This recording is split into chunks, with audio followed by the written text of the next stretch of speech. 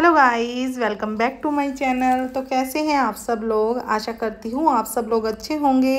Guys आज की video में मैं आप लोगों के साथ शेयर करने जा रही हूँ full growth armpit waxing with Rica aloe vera wax जो कि काफ़ी अच्छी वैक्स है। और गाइज़ अगर आपके पास कोई सेंसिटिव स्किन वाला क्लाइंट आ रहा है तो आप इसको ईजिली यूज़ कर सकते हैं, क्योंकि इस पर मैंशन किया गया है कि यह सेंसिटिव स्किन के लिए बहुत अच्छी है। वीडियो के स्टार्टिंग में ही प्रोडक्ट मैंने आपको दिखा दिए हैं। वैक्सिंग करने के लिए मैंने लिया है रीका का pre waxing gel. After use के लिए लिया है आफ्टर वैक्सिंग लोशन। वैक्स को आपने हीटर में डालकर गर्म कर लेना है। वैक्सिंग स्टिप मैंने रीका ब्रांड की यूज़ की है। एप्लीकेशन के लिए मैंने वुडन का स्पैचुला यूज़ किया है।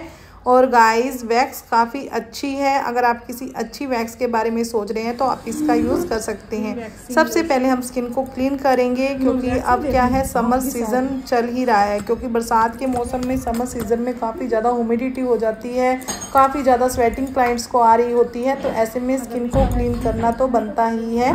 तो आप अगर आपके पास प्री वैक्सिंग जेल नहीं है तो आप सिंपल वाटर का यूज़ करके उसमें डेटोल डालकर अच्छे से स्किन को पहले क्लीन करें। मैंने यूज़ किया है रिका का प्री वैक्सिंग जेल इसका यूज़ करने से क्लाइंट की स्किन में जितनी भी मैल गंदगी जमी रहती है वह बहुत अच्छे तरीके से क्लीन हो जाती है। और अगर क्लाइंट की स्किन में मॉइस्चर हो नमी हो तो वह भी बहुत अच्छे तरीके से कंट्रोल में आ जाता है और वह प्लेस ड्राई हो जाता है जहाँ हमने वैक्स करनी है। और देखिए काफ़ी हैवी ग्रोथ है इनकी।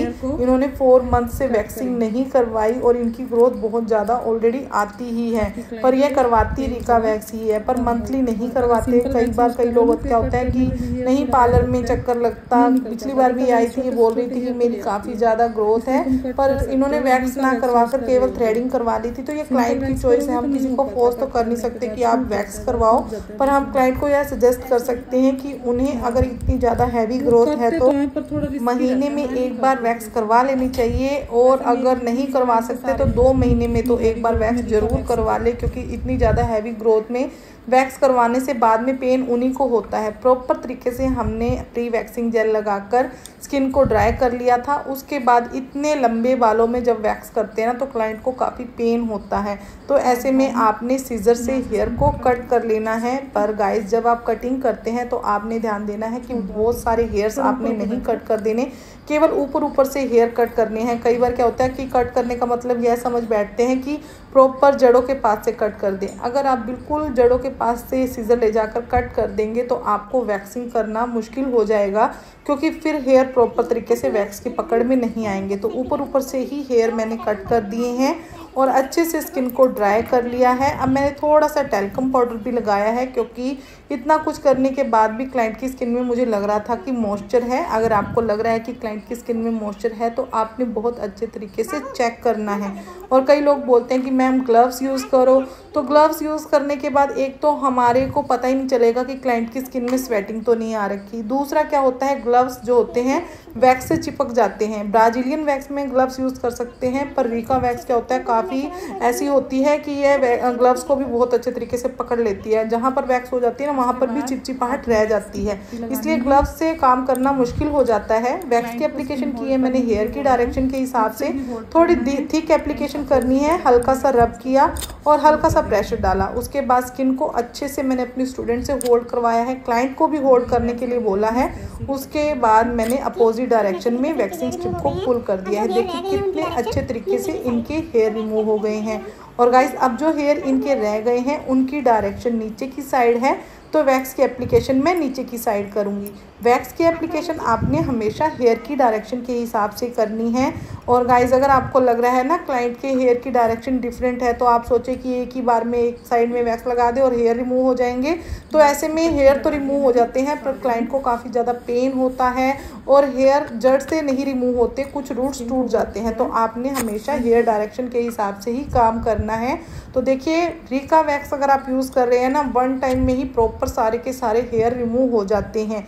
पर अगर आपको लग रहा है कि क्लाइंट के कुछ हेयर्स रह गए हैं और आप प्रीका वैक्स यूज़ कर रहे हैं तो कभी भी आप इस वैक्स की रीएप्लीकेशन सारे में ना करें।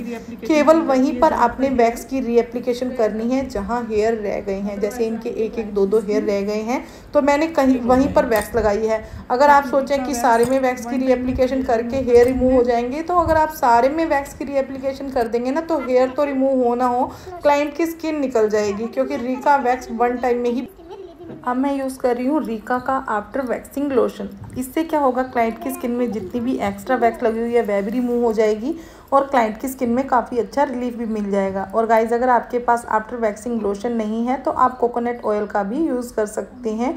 उससे भी क्या होगा? स्किन में से एक्स्ट्रा वैक्स रिमूव हो जाएगी और क्लाइंट की स्किन में काफ़ी रिलीफ मिलेगा। गाइज़ वैक्स को यूज़ करने का सही तरीका तो मैंने आपको बता दिया है। अब मैं आप लोगों के साथ शेयर कर, करने जा रही हूँ कि रीका वैक्स आपको क्यों करवानी चाहिए और किन सिचुएशन में नहीं करवानी चाहिए। रीका वैक्स अगर आपकी स्किन पर बहुत ज़्यादा ग्रोथ आती है, आपकी हेयर ग्रोथ बहुत ज़्यादा है तो आपको रीका वैक्स की साइड ही जाना चाहिए, क्योंकि रीका वैक्स से जो होती है हेयर ग्रोथ धीरे धीरे कम होनी स्टार्ट हो जाती है। जब हम सिंपल वैक्स का यूज़ करते हैं तो हमारे जो हेयर होते हैं, ऊपर से ही रिमूव हो जाते हैं।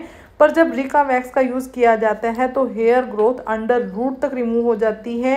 हेयर जो आता है, काफ़ी लेट आता है और जिनकी बहुत हैवी ग्रोथ है, अगर वह रिका वैक्स का यूज़ मंथली करवाते हैं टू मंथ में करवाते हैं तो उनकी हेयर ग्रोथ धीरे धीरे काफ़ी कम होनी शुरू हो जाती है।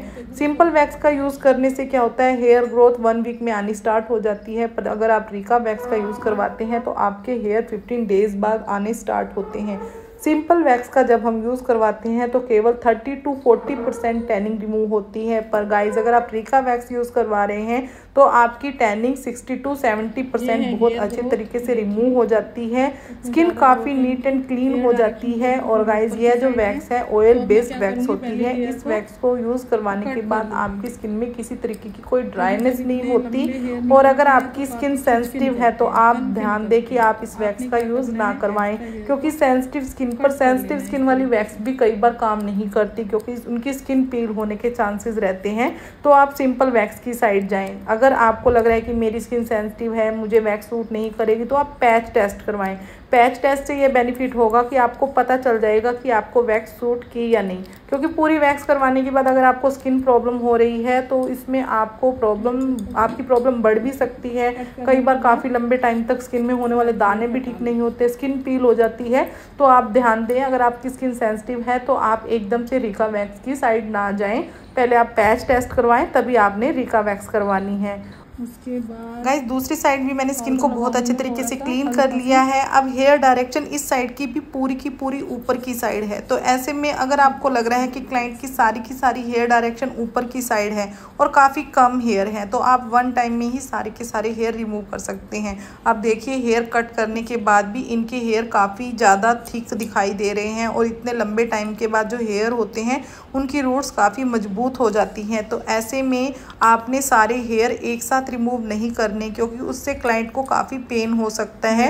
तो आपने क्या करना है? हेयर को डिवाइड कर लेना है। चाहे हेयर डायरेक्शन एक साइड है वन टाइम में भी हम सारे के सारे हेयर रिमूव कर सकते हैं पर क्लाइंट का भी आपने देखना है कि वह पेन बर्दाश्त कर सकता है या नहीं। जब इतना लंबा हेयर जड़ से निकलता है तो पेन होता ही है क्योंकि यह रीका वैक्स है। अंडर रूट तक हेयर रिमूव करेगी और इतने सारे हेयर अगर हम एक साथ निकालने जाएँगे निकल तो जाएँगे हमारा टाइम कम लगेगा पर क्लाइंट को काफ़ी पेन होगा। तो तो आपने क्लाइंट के बारे में भी सोचना है। अब मैं वैक्स की एप्लीकेशन कर रही हूँ हेयर की डायरेक्शन के हिसाब से।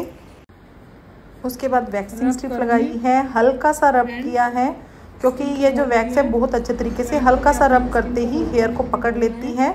उसके बाद क्लाइंट और से भी स्किन होल्ड करवाई है अपने स्टूडेंट से भी करवाई है अपोजिट डायरेक्शन में वैक्सिंग स्ट्रिप को पुल कर दिया है। मैंने स्किन को होल्ड नहीं किया क्योंकि ऑलरेडी दो साइड से स्किन बहुत अच्छे तरीके से टच हो चुकी है। देखिए वन टाइम में ही बहुत अच्छे तरीके से हेयर रिमूव हो जाते हैं बस उनकी डायरेक्शन भी ऊपर की साइड है। तो मैंने एक साथ नहीं लगाई वैक्स ताकि क्लाइंट को पेन कम हो। आपने भी इस तरीके से ही काम करना है। एक साथ सारे में वैक्स की एप्लीकेशन ना करें इससे पेन थोड़ा ज़्यादा होता है। मैंने जो हेयर्स हैं सेकंड पार्ट वाले, वहाँ पर वैक्स की एप्लीकेशन कर दी है। हल्का सा ही रख किया एंड फुल अब जो हेयर रह गए हैं, वहाँ पर हम लगाएँगे वैक्स ये था रिका वैक्स की पूरी डिटेल नॉलेज। और गाइज़ अगर आप मेरे चैनल पर फ़र्स्ट टाइम विज़िट कर रहे हो तो आपको मेरे चैनल पर पार्लर में जो भी काम होता हूँ, सब टॉपिक से रिलेटेड वीडियोस मिल जाएँगी। चाहे वह ब्लीच हो फेशियल हो डी टेन हो वैक्सिंग हो, और वैक्सिंग से रिलेटेड तो मैंने लॉट्स ऑफ़ वीडियोस अपलोड कर रखी हैं। हर टाइप की वैक्स के बारे में मैंने अपने चैनल में डिटेल से बता रखा है। तो प्लीज़ अगर आपको मेरे चैनल की वीडियो यूज़फुल लगे तो वीडियो को लाइक करें। शेयर करें, साथ में चैनल को सब्सक्राइब भी कर दें एंड बेल आइकन को ज़रूर प्रेस करें ताकि आने वाली लेटेस्ट वीडियो की नोटिफिकेशन आपको टाइम टू टाइम मिलती रहे। और गाइज़ मेरे चैनल पर टू लैख सब्सक्राइबर्स कंप्लीट हो चुके हैं, उसके लिए thank you thank you so much इसी तरीके से मेरे चैनल पर अपना सहयोग एंड सपोर्ट बनाए रखें। तो चलिए मिलते हैं आपसे किसी नेक्स्ट वीडियो में। Okay take care bye bye thanks for joining thank you so much